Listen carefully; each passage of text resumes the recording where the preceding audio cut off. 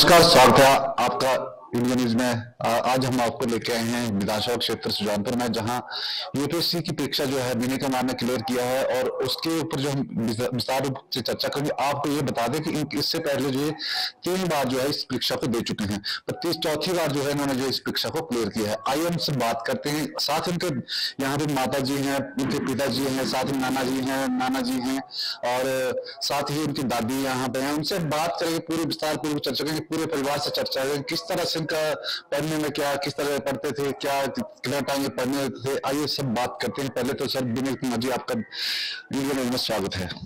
Thank you sir thank you so much sir पहले तो आपको बहुत बहुत बधाई और ये बताएँ हमारे दर्शकों को कि कितने टाइम में जो है आपने परीक्षा क्लियर की और इससे पहले कितनी बार दी?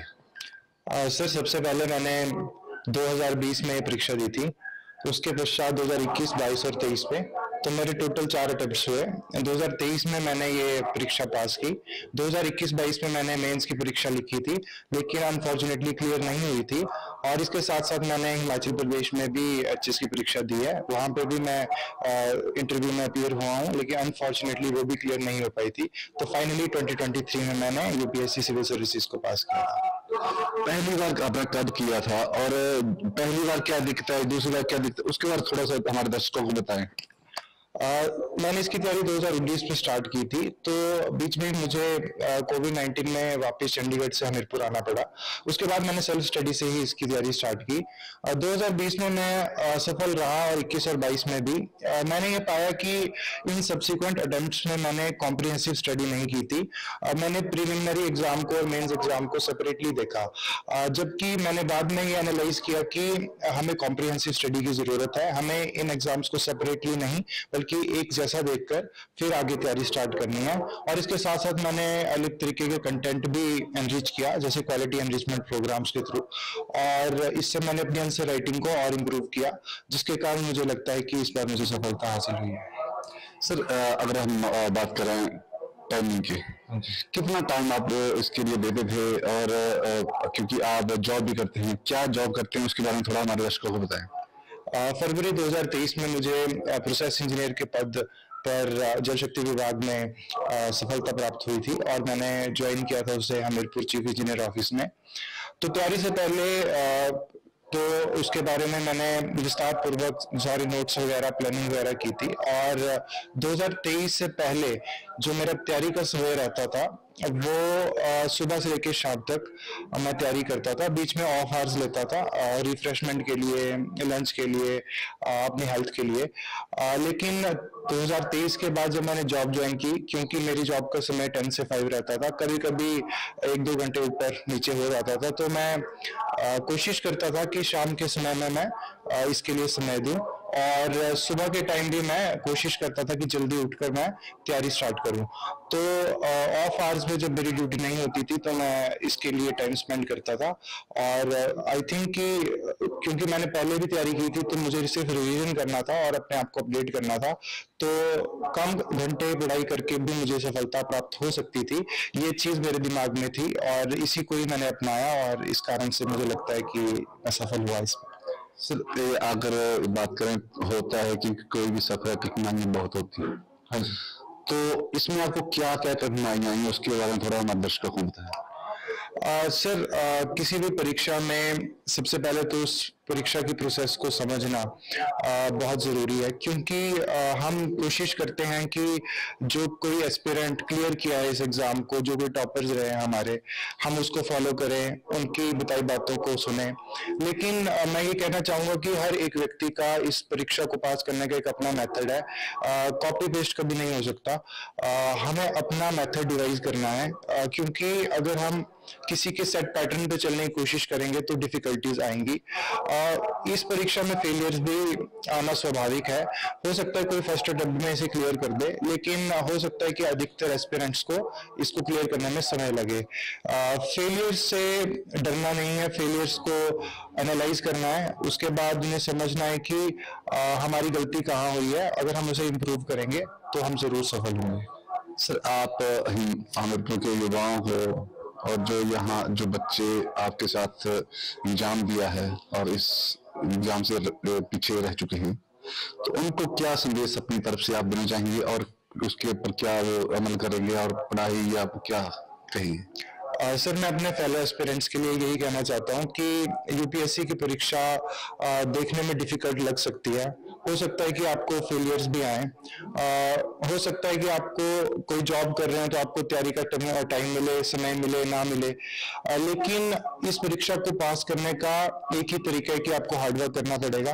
देर इज़ नो शॉर्टकट अगर आप हार्डवर्क करेंगे तो सफलता आपको एक ना एक दिन ज़रूर हासिल होगी। धन्यवाद। सर अगर हम आजकल युवा जो है नशे की ओर जा रहा है हाँ उनके लिए आप क्या संदेश देना चाहेंगे अपनी तरफ़ से? सर मैं भी काफ़ी बार अखबारों में और न्यूज़ चैनल में पढ़ता हूँ कि हमारा यूथ काफ़ी ड्रग एडिक्ट हो चुका है और काफ़ी यूथ आगे भी ड्रग एडिक्शन की तरफ़ जा रहा है। इसके कई कारण हो सकते हैं, लेकिन जो कोई भी कारण हो, मैं यूथ के लिए यही कहना चाहूँगा कि आपको आपकी लाइफ को प्रैक्टिकली सोचना है। आइडियलिस्टिक लाइफ से दूर होकर प्रैक्टिकल लाइफ में जाना है। अगर आप अपने ऊपर काम करेंगे तभी आप अपने देश के लिए भी, अपने परिवार के लिए भी और खुद के लिए भी कुछ अच्छा करने के योग्य बनेंगे। अगर आप ड्रग्स में और इन सब चीज़ों में समय बर्बाद करेंगे तो इससे आपका भी नुकसान है और देश का तो नुकसान है ही। सर आपका धन्यवाद हमारे साथ बात करने के thank you sir thank you so much आइए हमारे साथ दिने के पापा हैं उनसे भी बात करेंगे कि किस तरह से ये पढ़ाई करते थे किस तरह से इनकी जो पढ़ाई करते थे तो क्या इनकी हेल्प रहती थी और क्या उसके बारे में जानते हैं। सर आपका इंडियन न्यूज़ में स्वागत है। बच्चे की पहले तो आपको बधाई हो और किस तरह से देखते हैं इस उपलब्धि को? आ, सर बहुत बहुत धन्यवाद जी। सर्वप्रथम मैं आपको भी सबको मुबारकबाद देता हूँ कि मेरे बेटे ने जो है वो इस परीक्षा में सफलता पाई है। मैं कई बार सोचता था कि बेटा जो है वो अपने बिज़ी रहता है बहुत ज़्यादा तो क्या होगा, कैसे कर रहा है? लेकिन इसका पढ़ने का, अपनी सोच पॉजिटिव एटीट्यूड और साथ में थिंकिंग बहुत अलग सी थी। शुरू से ही बहुत एक्टिव रहा है और जहाँ भी इसने एग्ज़ाम दिया मेरिटोरियस रहा है। चाहे प्लस टू लेवल हो, चाहे इसका एमआईटी में डिग्री हो, चाहे मास्टर डिग्री हो तो हमें बहुत खुशी होती है। सबसे बढ़िया ये है कि बेटे में अगर किसी प्रकार की कोई गलत आदत नहीं है तो माँ बाप की सबसे बड़ी संपत्ति यही होती है। हमें बहुत खुशी है, हमें गर्व है अपने बेटे के ऊपर कि इसने जो है बहुत अच्छी उपलब्धि प्राप्त की है और आगे भी बहुत अच्छा काम करेगा।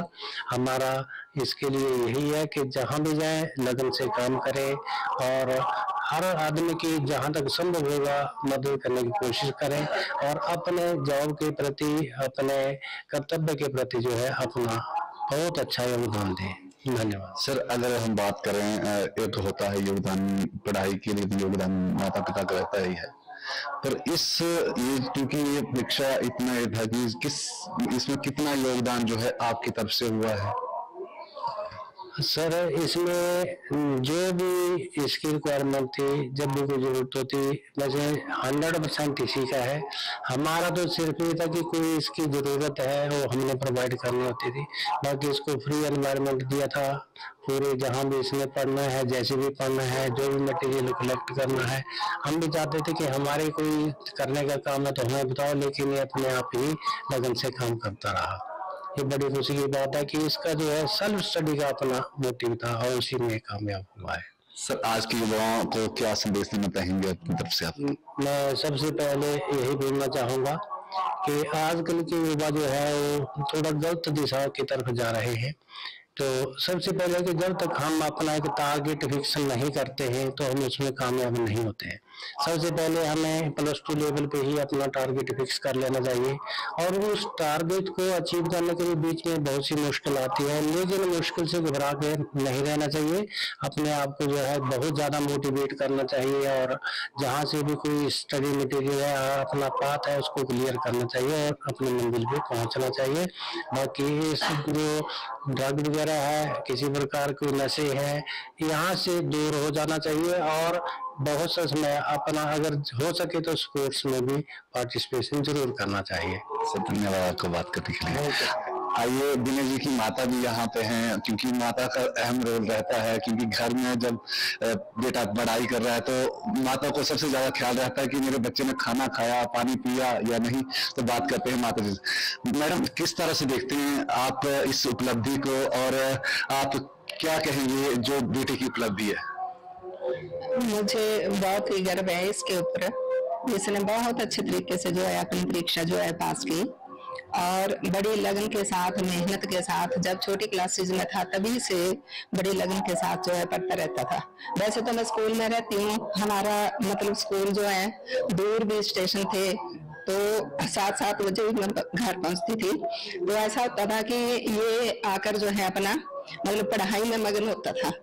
हमें कभी भी बोलने की ज़रूरत नहीं पड़ी और पूरा योगदान इसके साथ जो है रहा। पढ़ाई की बात करें परीक्षा की बात करें तो आपका भी इसका योगदान रहा होगा। तो हाँ किस तरह से आप मोटिवेट करते थे बच्चे को? बस मैं यही कहती थी भी कि कहीं ना कहीं जो है अपना मतलब जो एम है आपका उसकी तरफ़ आपने जो है लगन लगाकर पढ़ना है और उसको हासिल करना है आपने कामयाब होना है उसमें। और उसने आज ये कामयाबी जो है प्राप्त कर ली और आज मुझे भी बहुत खुशी हुई कि इस ये अपने लक्ष्य तक पहुँच गया। माता का कहना कि हमें गर्व है कि हमारे बेटे ने इस, इस मुकाम पर पहुँचे हैं। आइए इनके यहाँ पे नाना नानी हैं उनसे भी बात करेंगे क्योंकि नाना नानी से ज़्यादा प्यार रहता है। तो उनसे भी बात करते हैं। आइए बात करते हैं नाना जी से और नानी जी से किस तरह से इनका योगदान रहा है उसके बारे में बात करेंगे। सो किस तरह से क्योंकि आप भी एक टीचिंग लाइन से रिटायर हुए हैं। तो कितना और किस तरह की पढ़ाई थी बच्चे की और किस तरह से पढ़ता था बच्चा? ये बच्चे शुरू से मतलब अपनी पढ़ाई में लगा रहता था और ज़्यादातर इसको इधर उधर घूमने की या खेल करने की कोई रुचि नहीं थी। या अपने कमरे में अंदर मस्त रहता था पढ़ाई में इसलिए ये सफलता का ये एक सूत्र है कि दृढ़ संकल्प और कड़ा परिश्रम से बच्चा जो है आगे बढ़ता है। अगर इसमें ये रुचि या ये संकल्प आ जाए तो जीवन में कभी पीछे नहीं रहता है। परीक्षा क्योंकि यूपीएससी की परीक्षा क्लियर करना छोटी बात नहीं है। तो क्योंकि कई बार होता है कि कोई क्वेश्चन ऐसा होता है कि आप इस टीचिंग लाइन से रहे हैं। तो क्या होता था ऐसा भी कोई दिन था कि बच्चा फ़ोन करता था कि नाना जी ऐसी बात है तो मुझे इसके बारे में बताइए है कुछ ऐसा? कोई किस्सा है मतलब पूछ लेता था कि ये ऐसी बात कैसे हुई है? हर प्रश्न का इसके अंदर मतलब ये एक दिन पैदा हो तो मतलब उसका समाधान ढूंढता था पूछ लेता था। तो आप आप आप कितना क्या संदेश जो है युवाओं को देना चाहेंगे? क्योंकि आ, आपके जो यहाँ विनय कुमार हैं उन्होंने जो एक हमीरपुर को नाम ऊपर किया है। और क्या संदेश आप जो आज के युवा हैं उनको अपनी तरफ़ से देना चाहेंगे? इनको यही मेरा संदेश है कि दृढ़ संकल्प और कड़ी मेहनत जो है वो सफलता की एक पूंजी है तो उसको अपनाना चाहिए। थैंक यू इनके साथ आइए हम नानी जी हैं थोड़ा सा नानी जी से बात कर लेते हैं जब आए हैं तो सभी से बात करेंगे। अ, क्या कहेंगे बच्चे की इस जो परीक्षा क्लियर की उपलब्धि पर? सबसे पहले तो आपका बहुत बहुत धन्यवाद है। आप इस शुभ अवसर पर हमारे घर में आए तो हमारे घर और धन्य हो गया। और ये मेरा बेटा ना बहुत बचपन में इसका बचपन बहुत मेरे साथ बीता हुआ है। हमने पाला इसको जब बच्चा हुआ थे, हमारे घर में हुआ था। तो शुरू से इतनी कि मैंने बहुत भोला बच्चा है ये। और शुरू से इतनी लगन थी ना इसको, पढ़ाई में, किसी के साथ खेलने नहीं जाना, इसमें कुछ नहीं। और घर में अपने, ये, फिर मैंने बोला, मम बेटा, खाना खाओ।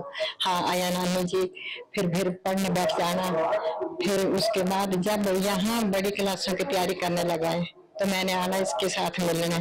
तो ये अपने कमरे में बंद होता था। और इतना सर्दी पड़ती थी ना ठंड जो होती थी तो हम सब लोग ठंड में में धूप सेकते थे। और ये बिल्कुल धूप नहीं सेकता था। कई बार इसको ठंड रच जाती है तो इसको बुखार हो जाता था। तो फिर मुझे बड़ा दुख लगता है देखो कितनी तपस्या है मेरे बच्चे की। और मुझे इसके कमरे में जाकर मिलना पड़ता था और बाहर नहीं मिलता था ये। हाँ जी। तो आज तपस्या रंग लाई है आपको बोलने का मतलब ये हाँ जी आज तपस्या रंग लाई मेरे बच्चे की तो हम बहुत खुश हैं। जब इसके ना दो बार ये परीक्षा ये होगी ना ये हो पाया। तो फिर हम ना रोते भी थे मैं रात को खाना नहीं खाती थी। इतना दुख लगता है। तो अब आप क्या संदेश देना चाहेंगी जो युवा हैं और हाँ मैं ये संदेश देना चाहूँगी कि सभी युवा कड़ी मेहनत करें और कड़ी मेहनत से ना जो लगन से काम करता है वो सफल ज़रूर होता है। भाई तो यही संदेश है और नशे से दूर रहना। हम्म। धन्यवाद जी। दादी जी क्या कहेंगे बेटे की उपलब्धि पर? धन्यवाद भगवान जो तो धन्यवाद है। और मुझे बड़ी खुशी हुई मेरा बिना कुमार इतनी बड़ी नौकरी तो क्या लगा तो हाँ पहले जिस बड़ा पढ़ पढ़ाई भी करता था ठीक होता। बहुत पढ़ाई करा है। बहुत खुशी मिली मुझे क्या संदेश देना चाहिए तो हाँ जो के बच्चे? चलो हाँ, सब मेरे बच्चे बना खड़े होंगे है ना? ठीक है दादी जी। आइए विनय कुमार की सिस्टर भी यहाँ पे हमसे भी बात करेंगे क्योंकि सबसे ज़्यादा बहन का योगदान रहता है जब कोई क्योंकि पार्टनर की तरह होते हैं। तो आइए बात करते हैं मैडम किस तरह से जब ये पढ़ाई करता था तो आपकी भी हेल्प रहती होगी तो और ये जो उपलब्धि है किस तरह से देखते हैं इसको? ये बहुत ही डेडिकेटेड था स्टार्टिंग से ही और क्योंकि कंसिस्टेंसी ही इस टेस्ट में जो है वो इम्पोर्टेंट है। अगर आप कंसिस्टेंट रहेंगे तभी आप कुछ कर पाएँगे अचीव कर पाएँगे, क्योंकि इसमें फेलियर्स का सामना भी बहुत करना पड़ता है। तो अगर आप कंसिस्टेंसी के साथ रहेंगे एफर्ट अगर आप पुट करेंगे, क्योंकि ये एक साल की, एक रात की तो मेहनत नहीं है। ये ऑलमोस्ट मतलब इसकी तो पाँच सालों की मेहनत है जो इसने अचीव किया है। तो कंसिस्टेंट रहना बहुत ज़रूरी है इसमें और प्रैक्टिस इसकी बाकी ये बहुत मेहनत करता था जो आज इसका फल इसको मिला है।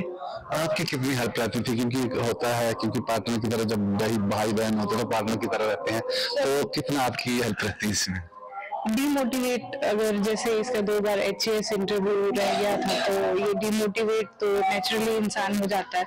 तो उस टाइम थोड़ी सी मोटिवेशन की ही हम हेल्प कर पाए कि अगर आप कंसिस्टेंट रहेंगे और एफर्ट पुट करेंगे, कहीं पे आप फेल कर रहे हैं मतलब कहीं आप लैक कर रहे हैं तो अगर आप एफर्ट पुट करेंगे तो आप श्योरली ही अपने ड्रीम को, अपने एम को अचीव करेंगे। धन्यवाद आपसे बात करने के लिए। तो ये था हमारे साथ विनय कुमार का परिवार जिन्होंने जो अ, परीक्षा को क्लियर की है। और आपको बता दें कि ये जो ये जो इन्होंने परीक्षा क्लियर की है ये तीन बार जो है इसमें फेल हो गए। उसके बाद इन्होंने चौथी बार जो इस परीक्षा को जो है क्लियर किया है। हमीरपुर से इंडियन न्यूज़ के लिए स्मित राठौर की रिपोर्ट